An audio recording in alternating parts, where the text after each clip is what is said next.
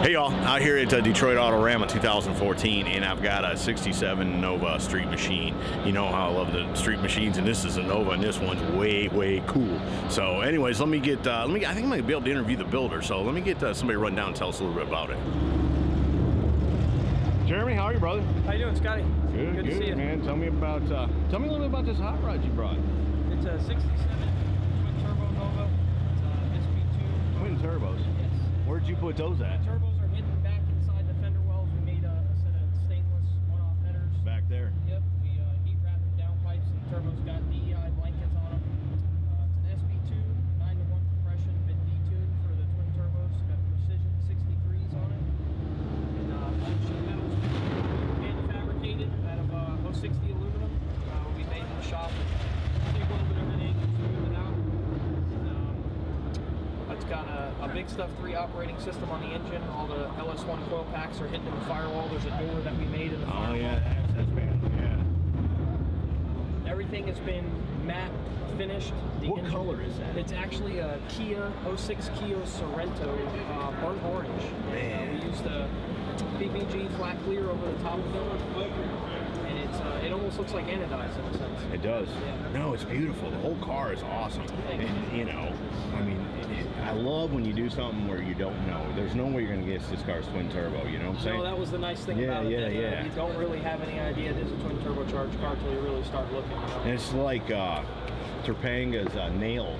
Yes, I saw that car yes. three times and didn't Yeah. know it was twin turbo. Yeah, we, we started this car in, in uh, 2009, actually, and uh, you know we've we've been working on it quite some time. And actually, the car was uh, bodywork and paint was done by Charley Hutton at uh, Charley Hutton Color Oh, Studio. cool. Yeah, so it's uh, What's the name of your shop? my shop is Miranda Built. Uh, Where are y'all out We're in uh, Palm City, Florida. Cool. Yep, and we have a 20,000 square foot shop, and we're actually paired up with another company there, Extreme Performance, Uh-huh. who does all our uh, interior work. So it's a good pair, and it works out very well. We do everything in house, paint, and body work. Um, we have a dyno going in, chassis dyno, so One-stop shop. yeah, we don't have to sub anything out anymore. That's always been our problem along the way is subbing, subbing things out. So Yeah. we got our paint booth finally installed, and, and everything is in house. So it's If somebody nice. wants to see your other stuff, you got a website or something? Yes, go to www.mirandabuilt.com. Spell that.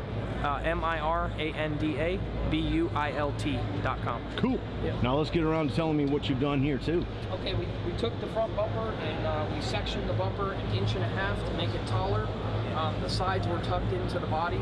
We gap matched it to the uh, to the filler panel behind the bumper, and then we made the air opening in the front for the condenser and the intercooler to get air up into the in the intercooler and radiator. And then the grill is actually a one-off uh, piece that Jeremy Carlson made from Extreme Performance for us, and it's all uh, CNC made. It, it kind of has the characteristics of a, of a new Range Rover. We kind of styled it a little bit off that. And it's got LED turn signals that are in the Yeah, I see them right there, yeah. Um, they're color matched as well and matte clears. It's got the new LED truck light style headlights in it. Uh, seven inch round crystal clear. They're all LED, so there's no draw on them. Right. Real nice. Absolutely way cool, man. And what any body mods you've done to it? Yeah, the car actually, um, everything has been shaved on it. The bottom sides of the fenders have been extended. The rockers have been extended. The pinch, all the pinch welds. Um, the rockers flow into the pinch weld on the bottom, so we got rid of that. The exhaust is actually Frenched into the edge of the round edge of the rocker.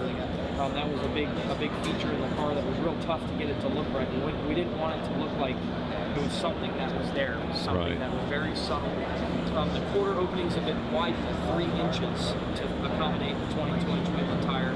And then we also extended the back side of the quarter panel behind the rear wheel. We, we brought the front of it down about an inch to give it almost a tapered look at the back. Right. And then brought the back of the wheel well forward probably about an inch and a half as well to continue that body line all the way out around the radius of the wheel well. And it has a, uh, a, a belly can underneath the back as well.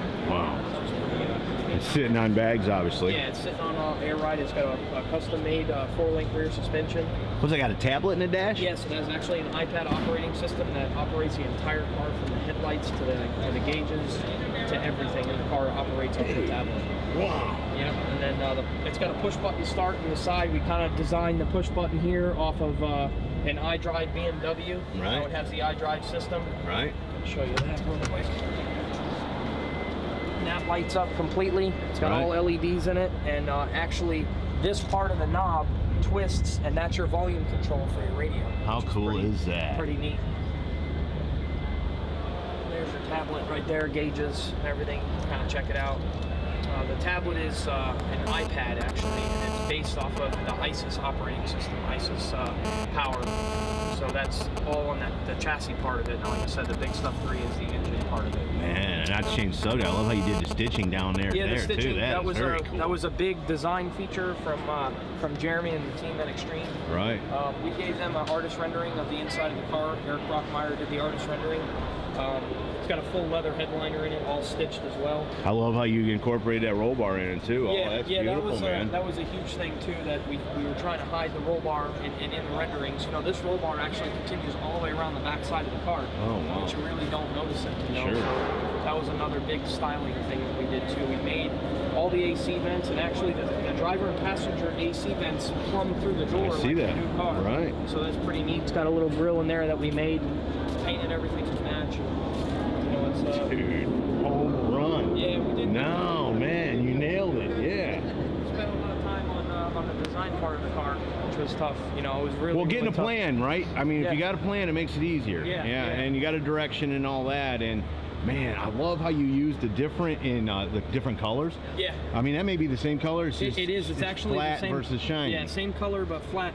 Funny, quick, funny story. This molding was actually the customer's idea. He wanted to take the factory Nova molding off. We were trying to, to figure out what we're going to put in there. This piece is a handrail off a bridge. You know the aluminum handrails? he bought me a, a, a six foot stock of handrail, and I cut I cut the handrail off, welded you know welded pieces on the back, and that bolts onto the car. It's, it's a molding. You know, rather than making it out of CNC. So that was actually a handmade piece. So, And then you put the gas cap between. yeah, the, the gas filler is in here. Holy smokes! There's man. actually a there's actually a light in there too. Oh, no kidding. Yep. So when he fills up the car at night, he Dude. can he can uh, See, you know, see you know, to me, that tells me what kind of shop you're running. When they can think of stuff like, it's going to be nighttime when he's filling it up. Let's put a light in there. Yes. Oh, that's. I mean, that's thinking ahead, Yeah, man. we try to we try to do everything like that where where you you are thinking ahead. I have the panels out. Yeah, I got. Now people Yeah. understand. I'm in here Yeah. so while you all are setting up, man. This isn't uh, its finest moment, but um, it it's real. You know what I'm saying? That's It what people get to see is that. You know, they get to talk to you, they hear about it, and they know that we're not sitting here staging it, and, you know, Yeah. the script you're going by. You're just telling me about your cool car y'all built. Thanks. And you rocked it, man. Yeah, I I love the orange color against the gray, Yeah.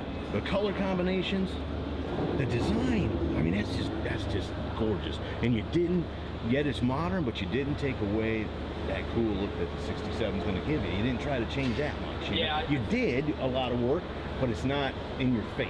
Yeah, right. that was a big thing, and, and we were very, we were very up in, up in the air on the wheels. The car had polished wheels on it and we got it, you know, originally. We were Right. mocking it up, but we knew we were going to do paint on the wheels. We were just very hesitant to throw something on there that was going to be overboard. Right. And the orange was was a very hard thing. We, we sprayed a sample. We actually put it on the car as we were building the car. We just looked at it for like two weeks. We let Right. everyone kind of digest it. When we first looked at it, we were like, "This might be a little too much," but I, I don't. I think we nailed it. I think it's it's, it's and then you open the hood up, and it almost makes it look like somehow all that's carrying through from the engine to the wheels to the interior, all the way out the back of the car. Yes, yes. It flows, just flows awesome, man. Yeah, there's a lot of little uh, little details that we did just to try to tie everything together. You know, it doesn't look like any any one thing wasn't done for a reason.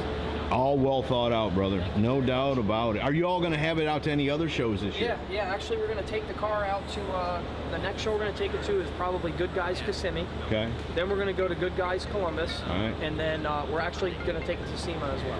Okay, cool. We got two more coming behind it that are the same same style. Dude, we're friends now. I'm gonna be right on top of those builds Cool, too, man. Yeah, and I'll see you in Nashville or in uh, Columbus. Yeah, we're gonna go to Columbus. And Yep. folks, if you uh, if you get out to Good Guys show and only can do one, Columbus is the one. I guess you're gonna go for Street Machine of the Year. We are. We're going to try to do that. We brought it here with no no true intentions of, of anything. Just a bunch of humble guys, you know, Sure. building a cool car and bringing it out and see what we could do. You know, we Right. had fun building it. There was a lot of people involved, and you know, we'll we'll see what we can do with it. You know. Cool, Jeremy. Thanks so much for your time. Thank you very thanks much, for Scotty. your shop, the guy that paid to get it done. Yeah. Thanks to everybody. Give me another shout out on that shop of yours. It's uh, mirandabuilt.com. We're in Cool. uh, Palm City, Florida. awesome. Again, thanks, man. Thanks, Scotty. Folks, there you go. There is one nice 67 Nova. Trying to dodge people. 67 Nova from uh, Autorama 2014. Man, I like that car. I just like the color combination. I like the stance. I like all they did. Hope you all have enjoyed it too. See ya.